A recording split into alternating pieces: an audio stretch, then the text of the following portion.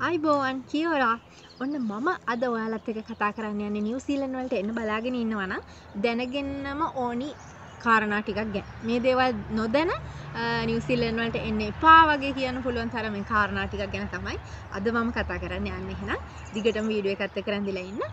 මගේ channel එක subscribe කරලා notification bell එක on කරලා තියාගන්න අමතක කරන්න එපා. මෙහට එන්න බලාගෙන ඉන්න අයට වැදගත්වෙන වීඩියෝස් දැම්ම ඔයාලට ඒවා ඉක්මනටම බලාගන්න පුළුවන්. එහෙනම් අපි වීඩියෝ එකට යමු. පළවෙනි කාරණය තමයි ඔගොල්ලෝ නිවසීලන් වලට එන්න බඩු ලෑස්ති කරනකොට මතක තියාගන්න ඔයාල කෑම ජාති ගේන බලාගෙන ඉන්න වන නිවසීලන් වලට අනිවාර්යෙන්ම ඒ කෑම ජාති හොඳට රැප් කරලා සීල් කරලා ඒ කියන්නේ මේ එයා ටයිට් වෙන්න ඕනි. ඒ විදිහට සීල් කරලා ලේබල් එකක් ගහන්න නම හෝමේඩ් මොකක් හරි කම්පැනි නේම් එක තියෙනවා නම් ඒක එක්ස්පයර් ඩේට් එක මැනුෆැක්චර් ඩේට් එක ඒ ඔක්කොම අඩංගු වෙන විදිහට ලේබල් එකක් ගහලා එයා ටයිට් සීල් කරලා කෑම ජාති ගේන්න පුළුවන්. හැබැයි ඒ ටික අනිවාර්යයෙන්ම ප්ලේන් එකේදී දෙන ඩික්ලරේෂන් ෆෝම් එකේ ටික් කරන්න තියෙනවා කියලා කෑම ජාති උයපු ඒවා. කිරි බිත්තර මස් මාළු ගේන්න බෑ. කිරි ජාති බිත්තර මස් මාළු අමු එළවලු පළතුරු ඒ කියන්නේ ඖෂධීය ශාක සහ සත්තු ගේන්න බැහැ. ඒ වගේම මී පැණි ජාති මී මැස්සන් ඒ හදන කිසිම දෙයක් ගේන්න බැහැ. ඉතින් ඔයාට උයපු දේවල් ගේන්න පුළුවන්. ඒම ගේනකොට ඩික්ලෙයාර් කරන්න අමතක කරන්න එපා. ඒ වගේම ඔයා මාස 3කට වඩා බෙහෙත් ಜಾති ගේනවා නම් විශේෂයෙන්ම එතනක් තියෙනවා ටික් කරන්න මාස 3කට වඩා බෙහෙත් තියෙනවා කියන එක. එතකොට ඕගොල්ලෝ බෙහෙත් ටිකත් හරියටම ප්‍රිස්ක්‍රිප්ෂන් එකත් එක්ක ලේබල් කරලා හරියට බෙහෙත් ටික අරගෙන එන්නත් මතක තියාගන්න. ඊළඟට තව කාරණයක් තමයි ඒ ෆෝම් එකේම තියෙනවා. ඔයාගොල්ලන්ට අවි ආයුධ ඒ වගේ දේවල් ගේන්න බැහැ ස්පෝර්ට්ස් අයිටම් ගේන්න බැහැ එහෙම ගේනවා නම් ඉතින් කස්ටම් එකේදී ලොකු ලොකු කරදරවලට මුහුණ දෙන්න වෙනවා. ඒ නිසා ඕවගේ දේවල් ගේන්න බලාපොරොත්තු වෙන්න එපා. ඉතින් ගේනවා නම් කැම ජාතිනේ ගේන්නේ. තුන පහ මිරිස් කුඩු ඒවා මේවා ඔක්කොම පැකට් කරලා ගේන්න පුළුවන්. එහෙම ගැටලුවක් නැහැ. ඉතින් ඒ වුණාට ඩික්ලියර් කරන එක තැන පොඩි ඩික්ලරේෂන් මාක් එකේ ටික් එකක් දාන්න. මේවා ඔයාලගේ බෑග් එකේ තියෙනවා කියන එක. ඔයා එහෙම කියන්න නැතුව මෙහෙට ගෙනල්ලා තිබ්බොත් ඔයාට දඩ ගෙවන්න වෙනවා එයාපෝට් එකේ කස්ටම් එකේදී. ඉතින් ඒ ගැන සැලකිලිමත් වෙන්න. ඒ වගේම ඔයා සපත්තු සෙරප්පු ගේනවා නම් අනිවාර්යයෙන්ම කුණු දූවිලි අයින් කරලා මඩ පස් තියෙනවා නම් ඒවා අයින් කරලා ක්ලීන් කරලා ඒවත් රැප් කරලා ගේන්න. ඒ වගේම ඔයාගේ සපත්තු වලත් පස් මඩ ಜಾති මුකුත් නැහැ කියන එක ඔයා තහවුරු කරගන්න. නැත්නම් ඔයාට එතනදිත් ගැටලු වෙනවා. මොකද නිව්සීලන්ත වලට අමතර විස බීජ වගේ දේවල් ඒ කියන්නේ සත්තු පස් වලින් එන්න පුළුවන් එක එක ජීවීන් මෙහෙට එන එක අවම කරන්න තමයි ආක්‍රමණිකශීලීතාවය නැති කරන්න තමයි ඒ වගේ පියවර ගන්න. ඉතින් ওই ටික විශේෂයෙන්ම වැදගත් වෙනවා ඔයා එන්න ලෑස්ති වෙලා බෑග් එක පැක් කරනවා. දැන් ආවට පස්සේ ඔයා මෙහෙ රෙස්ටෝරන්ට් එකකට යන්න බලාපොරොත්තු වෙමින් ඉන්නවා නම් shopping යන්න බලාපොරොත්තු වෙමින් ඉන්නවා අනිවාර්යයෙන්ම හවස 6ට කලින් ඒ කඩවල් වලට යන්නේව යන්න. ගොඩක් වෙලාවට රෙස්ටෝරන්ට්ස් උත් පහමාර 6 වගේ වෙනකොට වහනවා.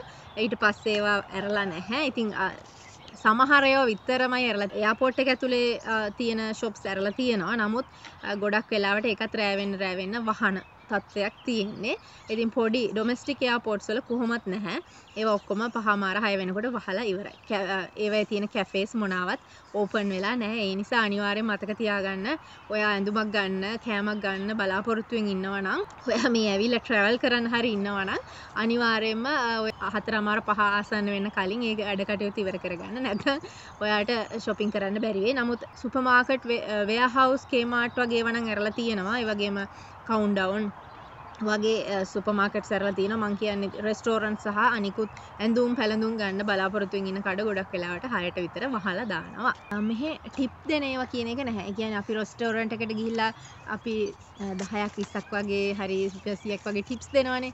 ඕනම දෙයක් කරගත්තා මෙහෙම ටිපින් ක්‍රමයක් මෙහෙ නැහැ. ඒකත් මතක තියාගන්න. ටිප්ස් දෙන්නේ නැහැ නිව්සීලන්ත. ඊළඟ එක තමයි ඔයා මෙහෙ ඇවිල්ලා ඩ්‍රයිව් කරනවා නම් අනිවාර්යයෙන්ම ස්පීඩ් ලිමිට් එකට වඩා එහා යන්න නම් එපා. ස්පීඩ් ලිමිට් එකට වඩා ගියොත් ඔයාගේ පොයින්ට්ස් අඩු වෙනවා.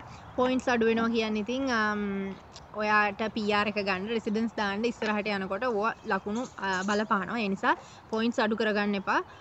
අනිවාර්යයෙන්ම ස්පීඩ් ලිමිට් නම් ස්පීඩ් ලිමිට් ඊට වඩා යන්නත් බෑ. අඩු අඩුවෙන් ගියට කමන්නේ. අඩුවෙන් ගියොත් තමන්ගේ පිටිපස්සෙන් පොලිමක් වගේ හැදෙනවා. ඉතින් ලිමිට් එක තියාගෙන නෝමල් ගානට යන්න. ඒකත් පතක තියාගන්න. ඒ වගේම මෙහෙ ඇවිල්ලා ඉන්නකොට නිවසීලන් ඔස්ට්‍රේලියා කම්පයා කරන්න එපා. මොකද මෙහෙ කට්ටිය කැමති නෑ. කිවිස්ලා කැමති නෑ ඔස්ට්‍රේලියාව හොඳයි කියලා. අනිවාර්යයෙන්ම සසඳන්න යන්න එපා ඒගොල්ලෝ කැමති නෑ තමන්ගේ රටනේ තමන්ට වටින්නේ ඉතින් අපේ අපි කතා කරන්නේ අපේ රට තමයි හොඳම රට කියලා. ඒ වගේ තමයි නිව්සීලන්ත අය ඇවිල්ලා ඕස්ට්‍රේලියා කම්පෙයාර් කරන්න යන්න එපා. ඒගොල්ලන්ට ඒකට ඒගොල්ලෝ කැමති නෑ. ඉතින් ඒකත් මතක තියාගන්න. ඒ වගේම තව දෙයක් තමයි දැන් මෙහි යුරෝපියන් හිටියට මේකේ මුල් අයිතිකරුවන් වෙන්නේ මෞරි ජාතිකය. ඉතින් මෞරි සංස්කෘතියටත් අනිවාර්යයෙන්ම රෙස්පෙක්ට් කරන්න. ඒගොල්ලෝ හෙලා දැකලා කතා කරන්න එපා කොතනකවත්. ඒගොල්ලෝ තමයි highest priority ඉන්නේ හැමතැනම. එයාලට අවස්ථාවත් වැඩි. එයාලගේ පැත්තට තියෙන chance වැඩි. ඒ නිසා ඒගොල්ලොන්ගේ සංස්කෘතියට මුකුත් එහෙම කියන්න එපා. ඒ සංස්කෘතිය දේවල් අගය කරන්න. ඒ දේවල් තමයි මෙහි ඇවිල්ලා කොහොමත් ඉගෙන ගන්න වෙන්නේ.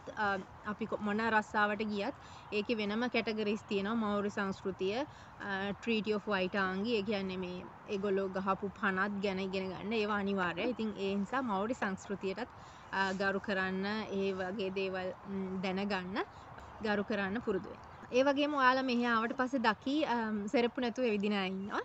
ඉතින් ඒක මෙහෙ සාමාන්‍ය දෙයක්. ඒක නිකන් පුදුම වෙලා බයලන්න එපා. ඒක සාමාන්‍යයි. ඉතින් සෙරප්පු නැතුව සපත්තු නැතුව කවුරු යනවා නම් කඩවල වලටත් එහෙම කට්ටිය යනවා. ඉතින් ඒක සාමාන්‍ය දෙයක් මෙහෙ. ඒක ගැන හිතන්න එපා එච්චර. ෆිෂ් ඇන් චිප්ස් තමයි මෙහි තියෙන ප්‍රධානම ස්නැක් එක වෙන්නේ. ඉතින් කොහෙ ගියත් ෆිෂ් ඇන් චිප්ස් ගන්න පුළුවන්. රෙස්ටෝරන්ට් චේන්ස් කියන ඒවා නැහැ. නගරේ නගරෙට තියෙන එක එක කඩවල් වෙනස්.